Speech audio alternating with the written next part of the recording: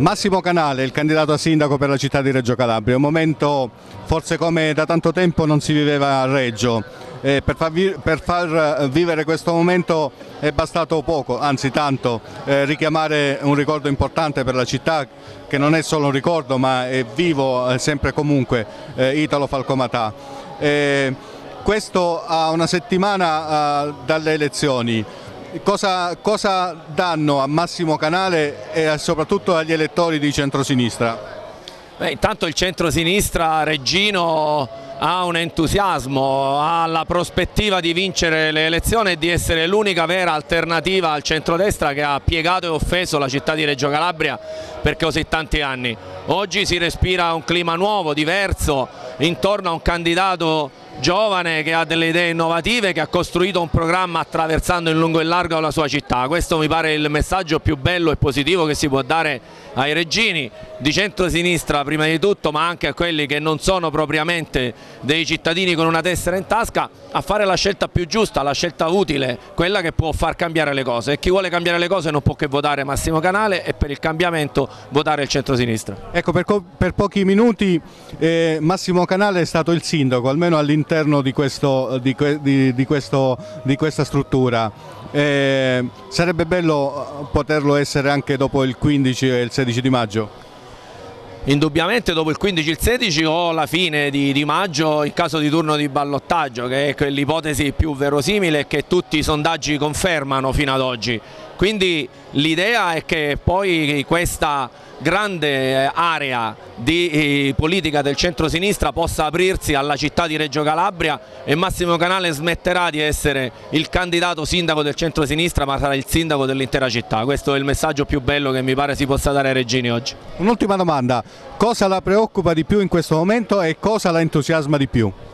Mi entusiasma la gente, i miei concittadini, i, dei borghi abbandonati delle nostre periferie così come del centro storico che hanno una speranza e una nuova fiducia nella, nella scelta che stanno per compiere.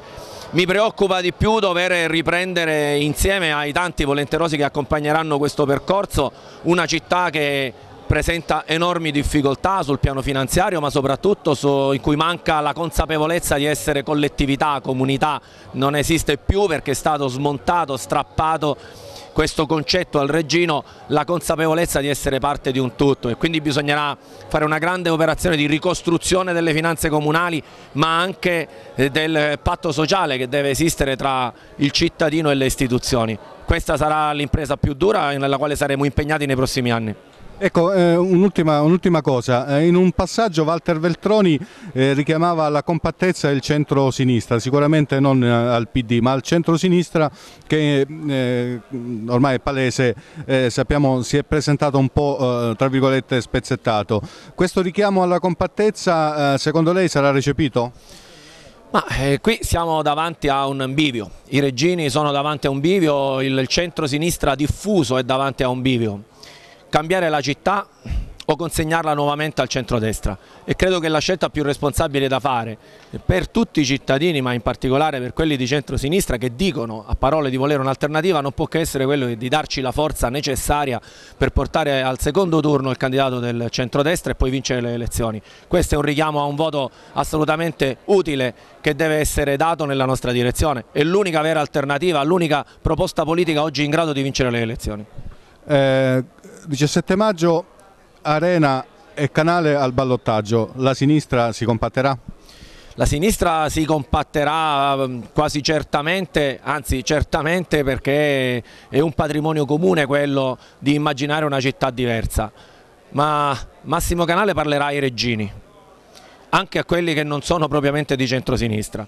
Reggio ha bisogno di una fase di respiro, di ricostruzione sociale e questo i reggini lo hanno capito perfettamente, prova ne sia che tutti i sondaggi danno in caduta libera il centrodestra in città e quindi sarà necessario rivolgerci direttamente a loro. Io sono, sono convinto che i miei concittadini comprenderanno. Grazie, in bocca al lupo.